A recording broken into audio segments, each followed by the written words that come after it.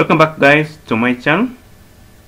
In this video I'm going to show you how to configure telephone service or IP phones or voice over IP service on Cisco Packet Tracer.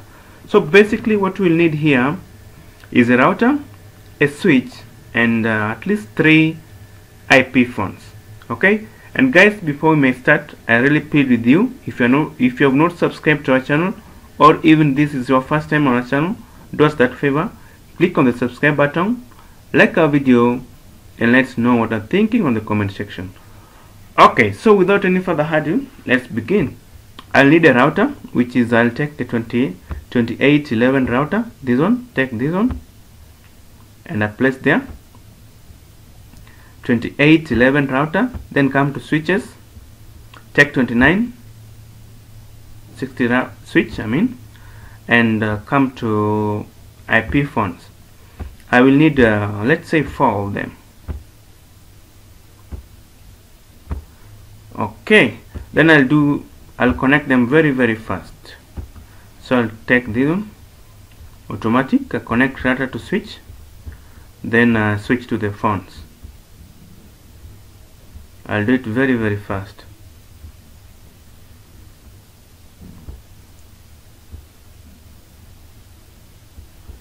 Okay. So as you can see guys the IP phones are shut down and they have not they are no power supply. So what I'll do I'll just click on the phones and I, I include this here. Okay? Close this one. Also this one. You drag phone uh, power adapter place on the port close and this one you drag this one and place there and you close and finally this one you drag and place here and close. Alright so guys we need to highlight the steps that we need that we are going to use to configure telephone service on this network. We need this phone to communicate with either of these phones. And any of these phones to communicate with all of these phones okay? Alright so guys basically our configuration will begin on the router. What we need to do is to configure DHCP server so that these devices can be allocated IP addresses dynamically. Alright the first configuration that we'll do is to configure this interface of the router. This one. 12 an IP addresses. Because you know we will need these devices all of these to use this interface as the default gateway okay? So let me do that. I'll assign IP address to this interface of the router and turn it up. So I'll click on the router and say enable config t and say interface. Let me check the interface see that it's gig 00 okay? Not gig 00 but fa just fa 00 okay? Interface fa 0 slash 0 ip address to be let's say 192.168.1.1 subnet mask of 255.255.255.0 then no shutdown. As you can see it's red but uh, meaning it's in shutdown. We need it to be up. So let's say no shut and hit enter exit and do right. Okay. Okay so guys the first configuration is done which was to configure IP address to this interface. Alright? This one. Of the router. Now the second configuration that we'll go that we are gonna do here is to configure DHCP server. Remember we need to use we need to use this router as the DHCP server for these devices. Such that these devices can obtain IP addresses automatically from this router so let's do that very fast. How do we configure DHCP server? First of all we need to enable that service service DHCP okay? Then IP DHCP pool. We create pool. And let's call that pool voice voice pool because this is we need to configure VoIP okay? Then network. 168.1.0 255.255.255.0 okay? Then default. Default address should be the IP address of the first interface. This one. Okay? That is connected to the local area network. 1 and 2.168.1.1 okay? Then guys you know here we're configuring telephone service. And for telephone service there is an inclusive configuration that is called option 150 IP this one I'm going to explain that one. Let me just copy that and I paste. So you know what? When uh, IP phone starts you know it lacks IP address. So it uses DHCP option 150 to send DHCP request to a TF, TFTP server okay? Which is will be our DHCP server here. Default gateway I mean here okay alright so I hit enter. Okay so exit and do right. So the first command when configuring pool you click the pool name then the network and the default gateway. Then option 150 tells the router to enable TFTP server using this interface IP address of, of this interface. I mean the interface IP address of this one okay? Alright. So the third the third configuration that we are going to involve. So I'll just highlight them here. The first one was to configure interface IP address then the second one to configure DHCP server server. And now the third one, one is to configure call manager express telephony service on this router to enable voice over IP on this network. So the third one is call manager telephony service. Okay? All right so let's do that very very fast. All right so we are going to configure call manager express telephony service on this router to enable voice over IP on this network. Let's do that very fast the first command enable that service telephony telephone service and you hit enter. So guys now we are going to specify the maximum number of directories. Just say max dn let's say 5 it will define the maximum number of directories used here hit enter. Then let's define the maximum number of phones IP phone that we need to use in this network. Let's say uh -huh, max phones let's say also 5 but uh, you know you see I am using 4 but no no problem. I'll let's just use 5 and hit enter. And now IP source. We now include the IP address of the of the router which is acting as the default gateway okay?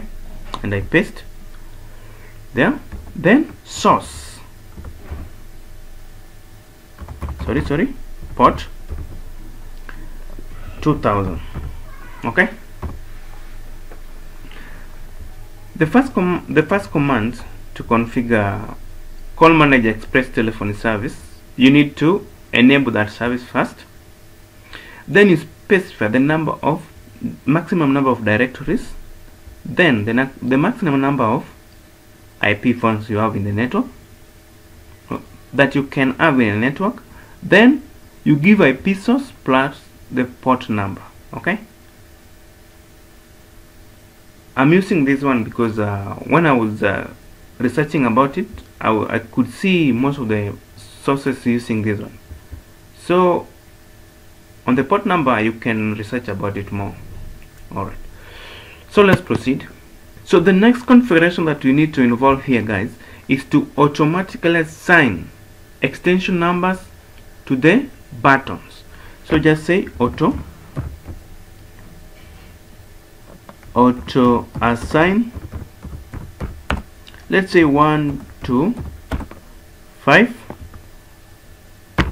Okay? Another one let's say four to six. Okay? Guys these two commands will automatically assign extension numbers to the buttons right? Okay so what to do? You exit. Okay. So our configuration on the on the router is done. So let's go to the switch so that we can configure voice VLAN on the switch. So this was on the routers I'll just say one two and three. So let's go to the switch so that we can configure some parameters there. Okay. So guys we're going to configure all of these interfaces to access a voice VLAN. Okay? So I'm just going to access them. FA0 slash 1 to FA0 slash 5 okay to, to the switch enable. Config t. Interface. FA0 slash 1 to 5 interface range sorry. Switch port mode access. Then switch port access. Voice. Voice sorry sorry sorry. VLAN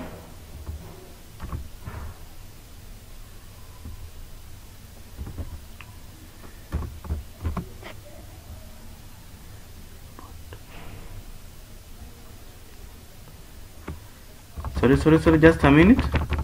Switch port voice. Okay VLAN 1 okay the first command that you need to involve on the switch is to configure is to enter the range which is a phase 0 slash uh, 1 to 5 then you make them switch port mode access make them access mode. Then you configure this switch port voice VLAN 1 okay? Alright and you hit enter. You exit. Now you're just done and you do right. Okay. Okay so switch was to configure interface to voice VLAN 1 okay? All of these interfaces. Right? Okay. So guys let's go back to this router so that we can assign these IP phones numbers. Okay? So we go back to the router again. I'll copy this